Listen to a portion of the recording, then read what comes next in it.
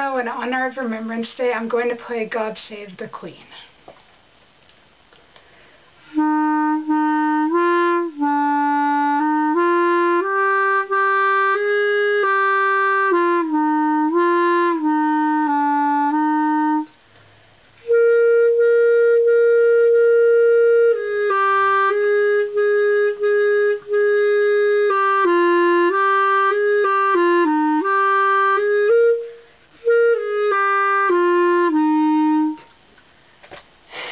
In the name of Jesus Christ, amen.